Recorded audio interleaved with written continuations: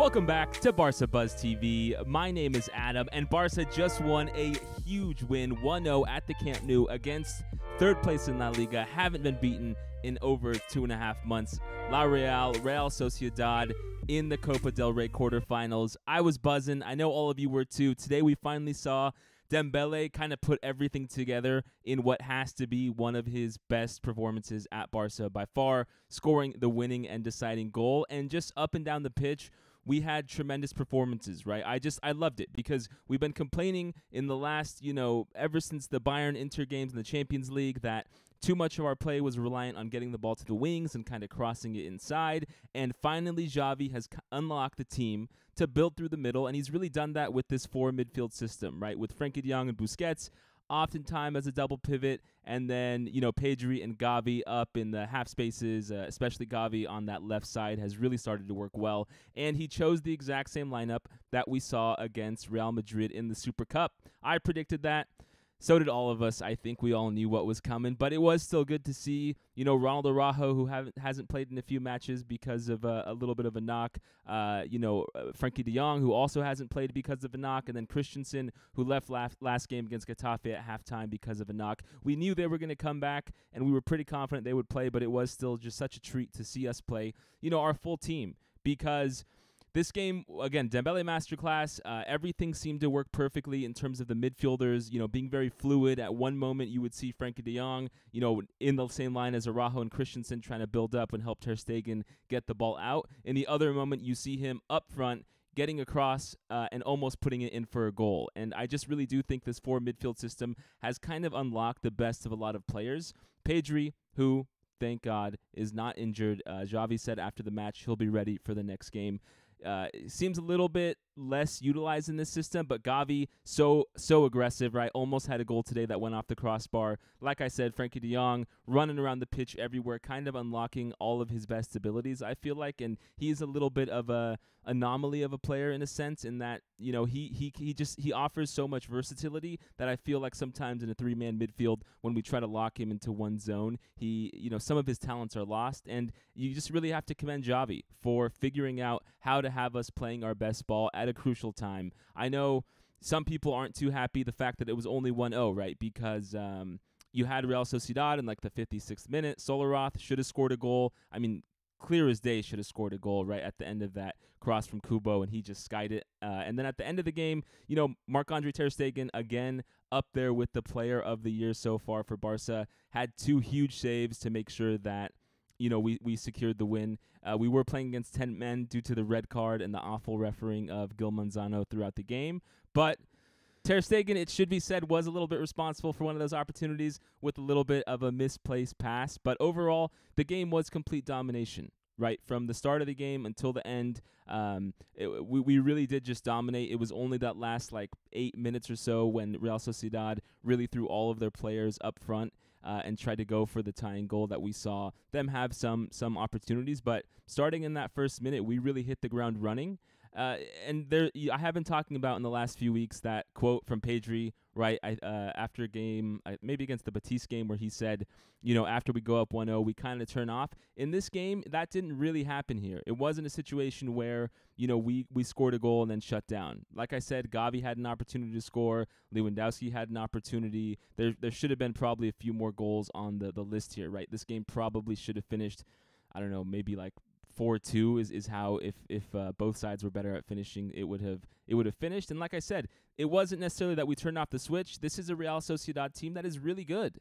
Right, they're third in La Liga, and and that's that alone should tell you how good they are. Let alone the fact that you know they're on such an incredible stretch of form. We were a little bit fortunate that David Silva didn't play the game.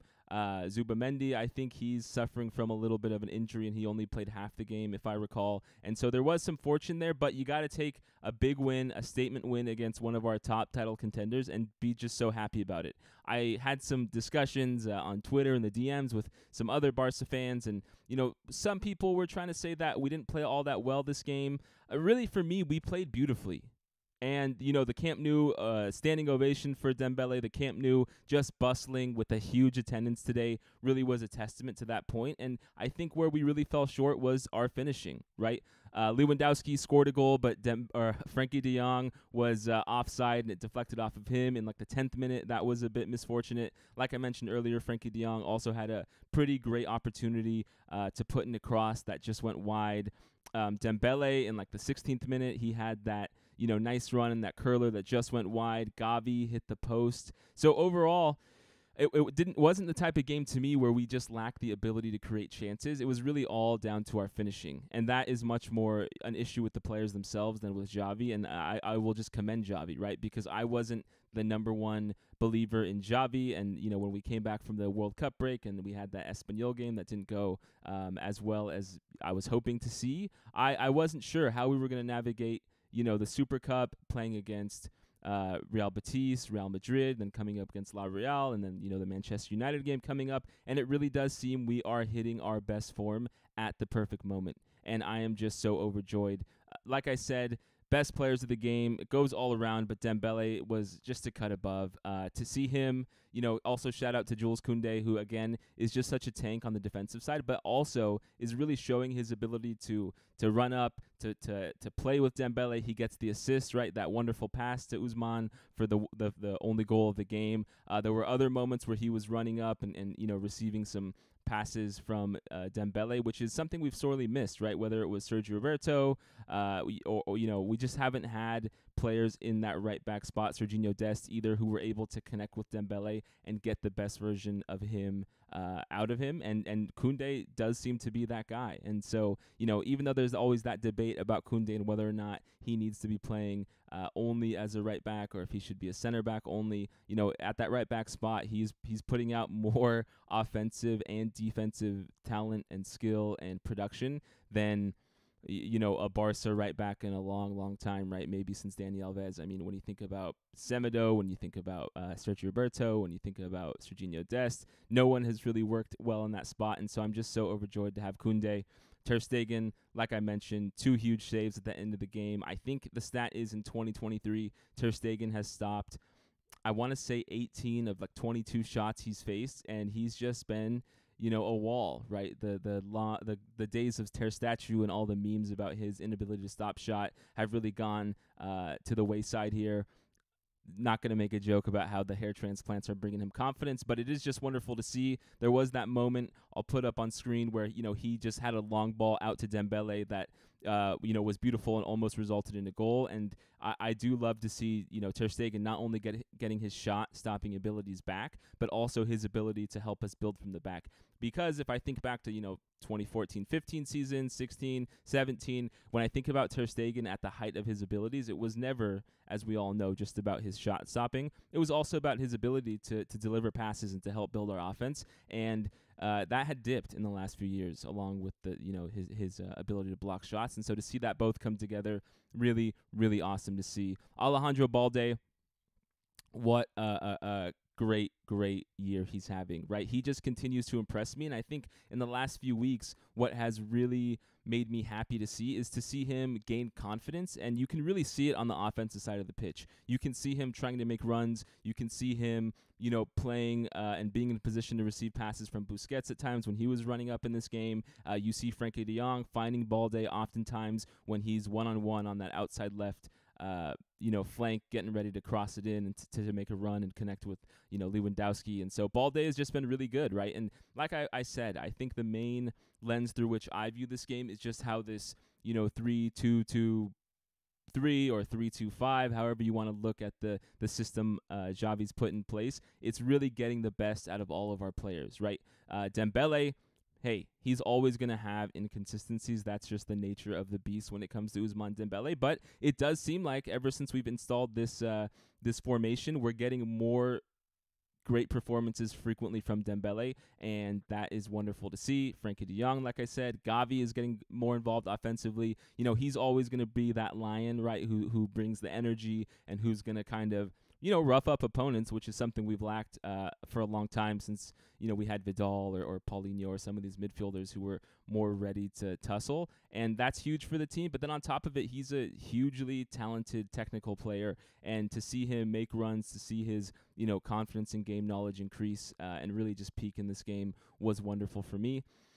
Lewandowski is a tough, tough guy, right? Because I think as he's come to this team, there's a few things I've learned about him. One, and today he almost again had some issues with. Uh, I mean, everyone had issues with, with Gil Manzano, but he was really going at him, and you know, I just hope in these big games coming up, and especially with the league season and him already facing that three-game ban he's uh, currently going through in La Liga. Just hope he can keep it calm not get too uh, too tussly with the with the refs. Uh, I saw him throw up an elbow today, but he got elbow too. So you know, I'm just hoping Lewandowski keeps it calm. The one thing I would say though, what I was getting to is that Lewandowski, especially at the beginning of the season, the one great thing I saw about him was kind of his build-up play, his ability to run uh, deeper into the midfield, kind of have his back to the net and find passes. In this new system, that's a little bit gone, and so in these games where he doesn't put away a goal, it can sometimes feel like he's not uh, getting the end product we need. But you know, uh, he had plenty of shots on goal today. Like I said, if Frenkie De Jong isn't you know, just happens to be in the, the exact spot offside where that, that shot was going, he would have put us up 1 0 in the 11th minute.